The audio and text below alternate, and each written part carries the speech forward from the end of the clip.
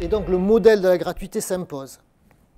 Et donc là, ça devient difficile. Comment vendre de l'application pour les boîtes de multimédia euh, alors qu'on ne vend plus un support?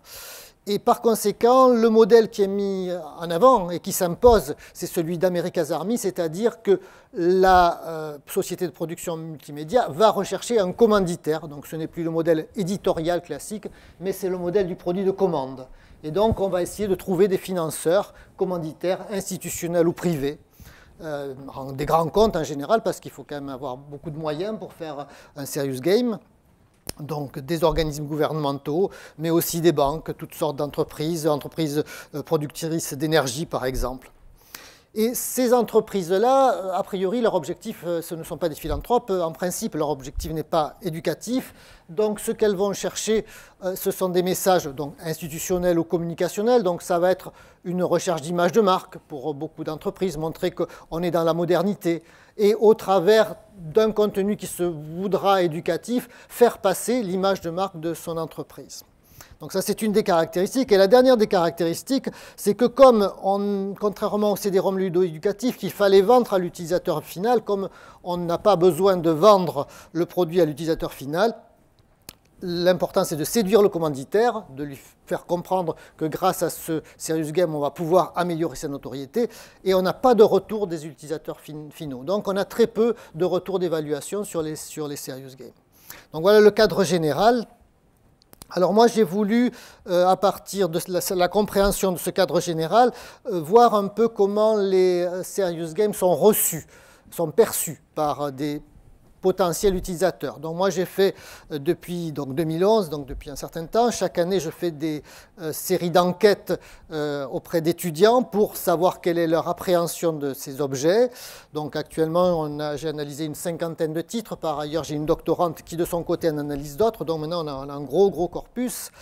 Et donc, je demande à mes étudiants donc, des retours à la fois que, je peux quantifier, donc de mettre des notes sur certains critères et également de me donner des appréciations pour que je comprenne comment un public jeune, tout à l'heure on a parlé des digital natives, un public des nouvelles générations, donc moi je n'ai pas le même regard qu'eux évidemment, euh, peut appréhender ces produits qui leur sont proposés. Et donc je leur ai demandé systématiquement d'évaluer, alors je ne détaille pas hein, globalement, les univers, est-ce que les univers dans lesquels on vous plonge sont satisfaisants? La qualité du ludique, est-ce que ces jeux vous plaisent en tant que jeu, est-ce que vous avez envie d'y jouer, et enfin la finalité sérieuse, pour résumer, est-ce que vous en avez retenu quelque chose, est-ce que cette façon de passer un message a été convaincante? Et d'une façon assez globale et systématique, j'obtiens une courbe comme ceci, c'est-à-dire qu'en général, les univers sont bien appréciés, tout simplement parce qu'ils sont bien calculés pour les tranches d'âge et pour euh, la culture de ces jeunes générations. Par contre, sur l'aspect ludique, il y a toujours un problème. C'est là que la courbe se creuse. Et la plupart des serious games sont souvent analysés comme des non-jeux. Souvent, on me dit que ce, ne sont pas des jeux, ce sont des exercices, mais pas des jeux. Ou des jeux peu, motivants. Bon, oui, c'est un jeu, mais ça n'a rien à voir quand même avec un vrai jeu de divertissement. C'est pas vraiment amusant. Et l'efficacité sérieuse, c'est un peu plus mitigé, mais globalement, elle n'est pas très convaincante. Alors, plus ou moins, j'ai des réponses extrêmement variées, hein, tout de même, mais globalement peu convaincant. Alors là, je ne vous ai pas mis une autre courbe, c'est celle de la variance des réponses, euh, qui est, qui est une courbe exactement inversée en général. C'est-à-dire ils sont assez d'accord sur les critères pour dire ce qu'est un univers, s'il est bon ou pas. Par contre, ils sont très en désaccord pour dire si c'est ludique ou si ça ne l'est pas. Et ça, ça ouvre sur la question du ludique. Qu'est-ce que le ludique? Et pour chacun d'entre nous, c'est différent, parce que c'est une valeur très subjective. Et donc, c'est très difficile de d'imposer une grille commune, de dire ben, avec ça on va s'amuser, ça va être bien, ben, ça va marcher pour quelques-uns, mais pas pour tout le monde. Et pour le sérieux, dans une mesure plus mitigée. Donc moi je suis parti de cette euh, vision euh, un peu mitigée de l'appréciation qu'on peut avoir, notamment du ludique et du sérieux. Et donc ensuite j'ai essayé, pour approfondir, de voir un peu plus qu'est-ce qu'il y a dans ces serious games. Euh, alors, oui, retour général hein, sur, ces serious games. D'une part, ce que je me rends compte, c'est comme dans le ludo-éducatif, il y a une survalorisation du scolaire, ça, ça ressort très souvent. C'est pour ça qu'on me dit que ce n'est pas vraiment du jeu. Quand il y a de l'éducatif, très souvent, l'éducatif, bah, il est traité d'une façon très conventionnelle, très traditionnelle, et assez faiblement interactive. Souvent, je trouve des serious games avec simplement des fiches. Donc, euh, on pourrait nous envoyer des PDF, ça serait pareil que de nous mettre des fiches au milieu d'un jeu.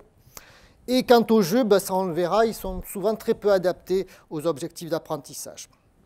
Alors donc ce que je disais précédemment, j'ai failli sauter une diapo, c'est comment euh, pour aller plus loin, comment essayer de, nous y retrouver dans toute cette, masse sur, le site de, Damien Jauti, je crois qu'il y a une dizaine de milliers de, Serious Games, quelque chose. Voilà, un peu moins. Mais il y a énormément de productions, donc on ne peut certainement pas tous les évaluer. Mais est-ce qu'on peut arriver à avoir des modèles euh, à l'intérieur? Alors, moi, là, j'ai essayé de faire une modélisation par rapport à l'articulation entre ce qui est le jeu et l'objectif sérieux. Et j'ai vu quatre modèles principaux qui sont de plus en plus difficiles à départager parce que souvent ils sont enchevêtrés. Mais on pourra dire que c'est des briques de base pour s'y retrouver. Un modèle dans lequel le jeu et le sérieux sont traités séparément. Un modèle que j'appellerais les parcours interactifs. Un modèle de jeu d'énigmes. Et enfin, le modèle des jeux de gestion. Donc je vais détailler ces quatre modèles. Alors premièrement, le, le modèle de la séparation jeu sérieux. Alors dans ce modèle-là, la construction est faite de telle sorte qu'on a des contenus dits sérieux qui sont alternés avec des jeux qui en général sont des mini-jeux puisque ça ne dure pas très longtemps. Le, cas le plus fréquent qu'on a dans cet exemple-ci, euh, cet exemple, ça s'appelle, c'est un serious game qui s'appelle Passeur de mémoire, qui a été commandité par l'Office national des anciens combattants. Il s'agirait de sensibiliser aux guerres mondiales.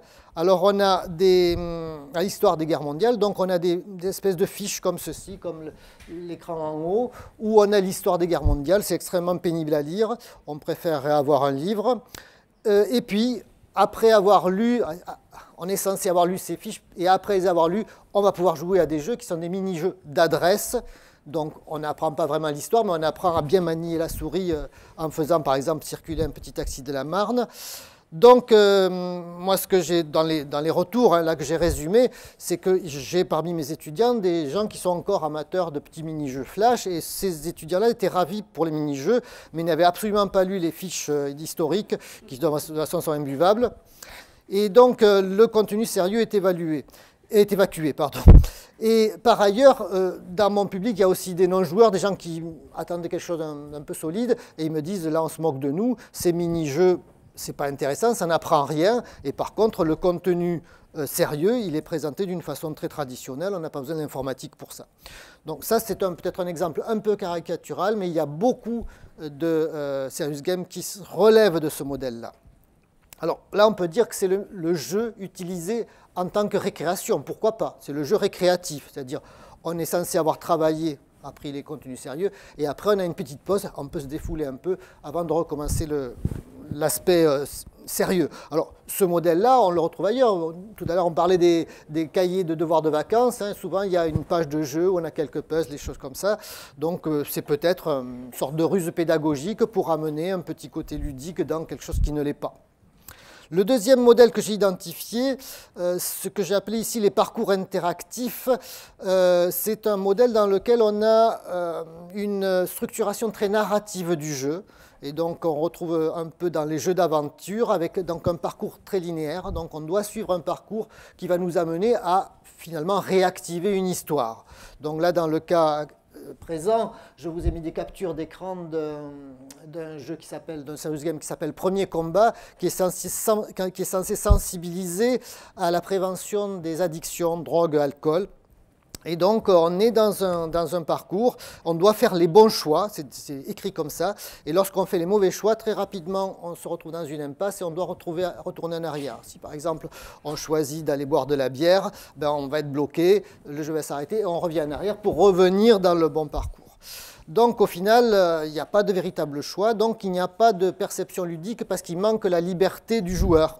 Donc on est dans des parcours forcés. Alors celui-là est particulièrement caricatural, il y, a, des, exemples un peu moins caricaturaux, mais il y a toujours ce sentiment d'être un peu comme dans un film. Et à la fin, les étudiants me disent, bon, on est plutôt dans un film que dans un jeu, donc autant nous faire regarder un film plutôt que de nous dire que c'est un jeu. Troisième modèle, les jeux à énigmes. Alors ici, j'ai pris un exemple, c'est un petit jeu fait par la BBC, euh, jeu à vocation historique. Euh, c'est un jeu dans lequel on doit découvrir euh, pourquoi là on a un cadavre dans une pièce, donc ça se passe dans la Rome antique, pourquoi ce monsieur est, décédé Et donc c'est un peu une énigme, une enquête policière, donc c'est très motivant parce qu'on doit chercher, un peu fouiller, trouver des indices, reconstituer l'histoire. Donc il y a un véritable enjeu ludique. Et donc pour cela, on doit découvrir un peu tout l'environnement romain, qu'est-ce qu'on mange à cette époque-là, quels sont les outils, les ustensiles, etc.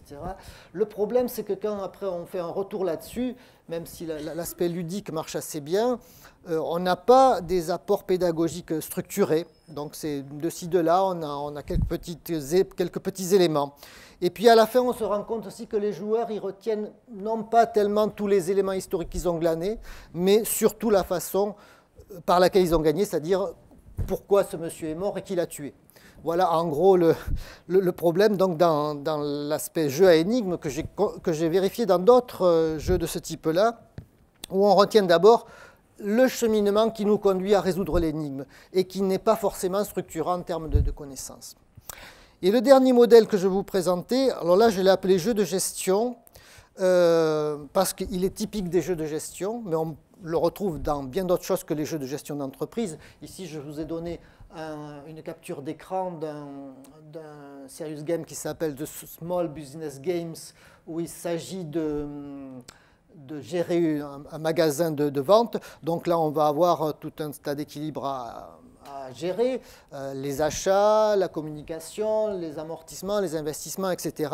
Donc on est dans des modalités de simulation de la vie réelle on est beaucoup moins dans une, mini-fictionnalisation comme on a vu antérieurement. Et donc ici, il faut maintenir euh, des équilibres entre diverses contraintes pour maintenir le système et si possible le faire progresser. On a beaucoup de jeux de ce type-là qui sont aussi euh, créés actuellement pour faire comprendre des enjeux écologiques. Comment faire vivre une île en, en essayant de gérer les déchets, d'avoir des ressources polluer, etc. Donc on a comme ça des équilibres à maintenir. Alors le problème avec ces types de jeux, c'est que là non plus, les acquisitions ne sont pas structurées. Par contre, là, on est vraiment dans de l'expérimentation, puisqu'on est vraiment mis en situation d'un gestionnaire, ici d'entreprise, ou euh, en matière écologique, de quelqu'un qui serait chargé de gérer une ville de façon durable. Et donc le jeu consiste dans ce cas-là à tester des processus. Et je j'aurais tendance à dire que ce, n'est que dans ce type de jeu qu'on en apprend réellement en jouant. Donc on teste des processus, c'est-à-dire qu'on est dans des procédures, et donc il y a un, courant actuellement dans, les jeux qui s'appelle le procéduralisme, dont je vais vous dire quelques mots. Euh, le, terme a été avancé par quelqu'un qui s'appelle Jan Bogost, qui a travaillé sur euh, ce qu'il appelle les jeux persuasifs, persuasive games. Et donc, euh, Yann Bogos soutient que euh, le jeu peut être une forme, au-delà de l'enseignement, une forme de rhétorique, une forme de persuasion des gens.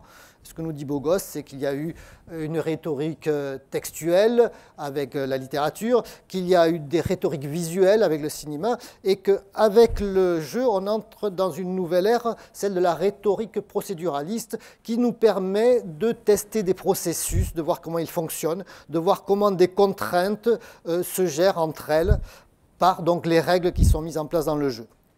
Donc on arrive à la compréhension, comme cela, de mécanismes.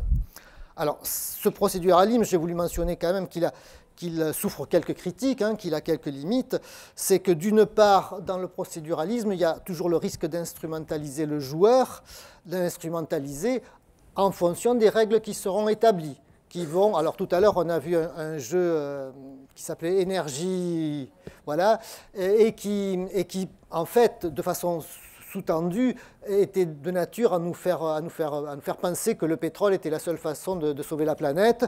J'en ai testé dans le même genre, j'ai testé un jeu qui s'appelle EDF Park, où là, la seule façon de euh, sauver la planète, c'était de faire un maximum de nucléaire parce que c'était la seule énergie non polluante. Donc il y a quand même toujours l'idéologie du concepteur. Donc ça, c'est ça, hein, le risque d'instrumentaliser le joueur, c'est que le joueur est pris dans des règles par rapport auxquelles il a du mal à prendre du recul, et donc on lui fait passer contre son gré de façon pas forcément euh, qui, dont, la conscience n'est pas forcément aisée, euh, des messages idéologiques.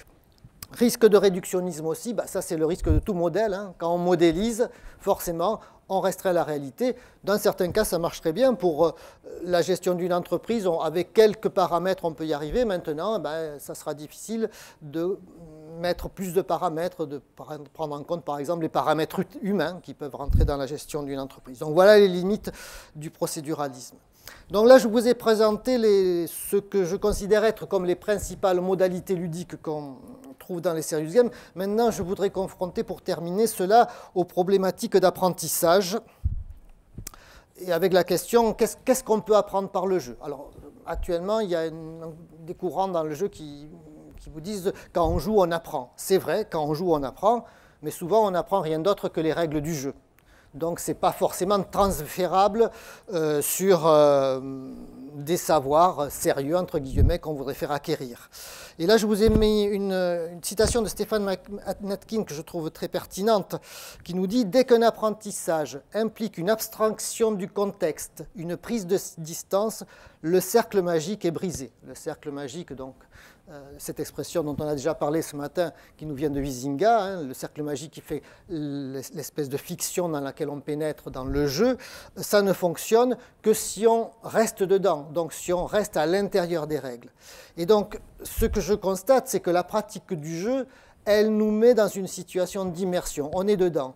Et elle nous rend difficile la prise de distance. Et donc, si on veut, dans nos enseignements, dans notre éducation, favoriser la remise en question, favoriser la distance critique, ben là, le jeu trouve ses limites. Donc voilà, pour moi, une des grandes limites du jeu. Ben le jeu, oui, il va apprendre lorsqu'il s'agit d'acquérir des automatismes, lorsqu'il s'agit d'être immergé. Lorsqu'on va demander aux apprenants de prendre du recul, ça sera beaucoup plus difficile et là, le jeu ne suffira pas. Euh, pour euh, appuyer cela, je euh, ferai référence ici à, un chercheur qui s'appelle David Jerry, et j'ai mentionné aussi André Tricot qui le reprend, qui s'intéresse à ce que nous apprenons. Qu'est-ce que nous apprenons? On n'apprend pas tout de la même façon, et il y a divers types de connaissances. Et David Jerry sépare les connaissances en connaissances primaires et connaissances secondaires. Alors ce qu'il appelle connaissances primaires, eh bien, ce sont les connaissances que l'on acquiert par adaptation dans le milieu. Par exemple, comment on a appris à parler. Personne ne s'en souvient. Moi, je ne me souviens pas comment j'ai appris à parler, mais en général, ça, ça se fait par le jeu, dans la relation avec la mère, par exemple.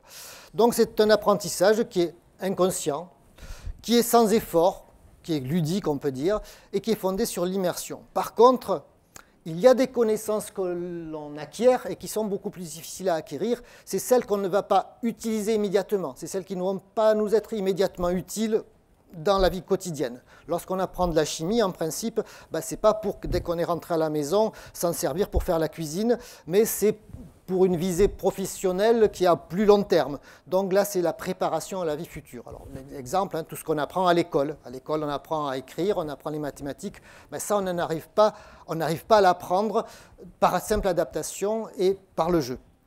Donc là, on est dans des apprentissages conscients, avec effort, dans la durée. Et donc, pour que ça marche, ben, il faut qu'il y ait des carottes, faut qu'on nous dise, ben oui, mais il faut que tu travailles, c'est vraiment pénible à apprendre, mais à la fin de l'année, tu auras des bonnes notes et tu auras ton diplôme, etc. Donc on n'est pas dans la motivation intrinsèque. Donc ces apprentissages-là, ils sont très peu euh, susceptibles d'être appris par le jeu. Donc le jeu, moi j'aurais tendance à dire, il est euh, très intéressant lorsqu'on est dans l'acquisition de connaissances primaires, lorsqu'on est dans de l'adaptatif.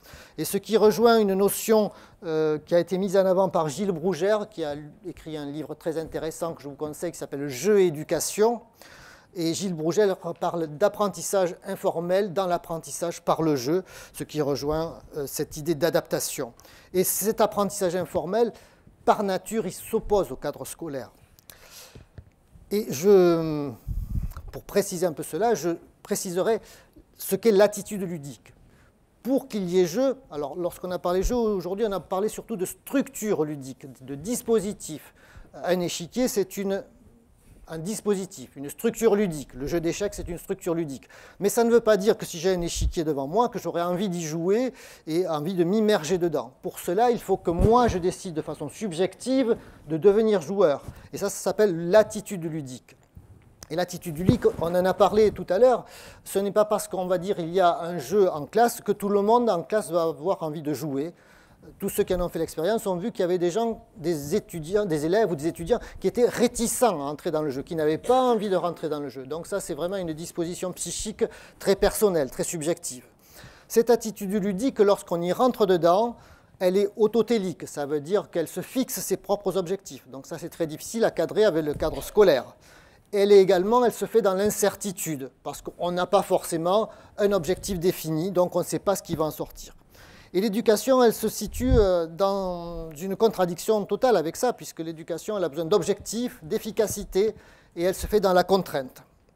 Donc moi, j'en conclurai que la rencontre entre jeu et éducation, je ne dis pas qu'elle est impossible, mais ça, c'est ce qui a été plus ou moins dit tout à l'heure, ben, ça peut arriver de temps en temps, et peut-être pas très longtemps. Donc je dirais qu'elle est plutôt fortuite et ponctuelle. Donc je ne vous dis pas ne faites pas du jeu à l'école, mais si vous faites du jeu à l'école, ne pensez pas que vous allez tout pouvoir faire passer par le jeu et que ça va durer très longtemps. Moi, je sais que j'ai vu quelques expériences comme ça où j'ai essayé de lancer un jeu, j'avais des gens qui ne voulaient pas rentrer dedans, bon, ok, et puis j'en ai d'autres qui rentraient trop dedans et que je n'arrivais plus à arrêter tellement ils étaient dedans, ils étaient à fond dans le jeu et ils n'avaient plus envie de se raccrocher sur ce que moi j'avais envie de les ramener, qui était euh, le sujet de, l'école. Voilà, pour conclure, donc euh, moi je, donc je vous avez compris que j'ai une grande méfiance sur le concept de serious game, que je trouve trop globalisant, que je trouve être un fourre-tout dans lequel on met n'importe quoi, et par conséquent qui n'est pas euh, un concept qui peut être valide scientifiquement. Pour moi, c'est d'abord un concept marketing, parce que dans ce que je vous ai expliqué sur le modèle de production, c'est un concept qui a été mis en avant par des concepteurs multimédia et qui n'a aucune fondation sur le plan éducatif. Ça ne veut pas dire qu'on ne peut pas fonder des choses en numérique et avec le jeu dans l'éducation. Alors pour référence, je vous parlerai de quelque chose qui ne se revendiquait pas comme du jeu, mais qui par contre avait une forte fondation euh, éducative, c'est le langage logo de Seymour Papert. Je ne sais pas si ça vous dit quelque chose. Dans les années 80, Seymour Papert était un disciple de Piaget et a développé des dispositifs informatiques que maintenant de l'extérieur on peut percevoir comme des jeux, mais il n'a jamais dit que c'était des jeux qui permettaient aux enfants de construire à partir de euh, programmation des figures géométriques, des dessins et même de piloter un petit robot. Aujourd'hui, on dirait que c'est un serious game. À l'époque, on, ne disait pas du tout que c'était un jeu, mais par contre, il y avait une réflexion sur la façon dont l'algorithmique pouvait être utile pour construire euh, les savoirs d'un enfant ou, d'un jeune apprenant. Donc, ce que, ce que, je vous conseille lorsque vous avez euh, cette question-là euh, du, jeu dans, votre éducation, ben c'est d'abord vous poser la question est-ce qu'une pédagogie ludique est pertinente? Parce qu'aujourd'hui, on, a cette idée générale que l'école doit, tout transformer en jeu pour redevenir motivante et intéressante. Euh, je crois que si on a cette idée simpliste, on va à l'échec. Donc, est-ce que dans ce que je fais, la, la pédagogie ludique est-elle pertinente? Quel type de jeu j'ai envie d'installer? Donc là, je vous ai montré quelques articulations entre jeu et sérieux. Et enfin, pour quel type d'apprentissage? Donc j'ai essayé de vous montrer un peu que les apprentissages, il ne faut pas les simplifier. Euh, chaque type d'apprentissage a ses spécificités. Voilà, je vous remercie.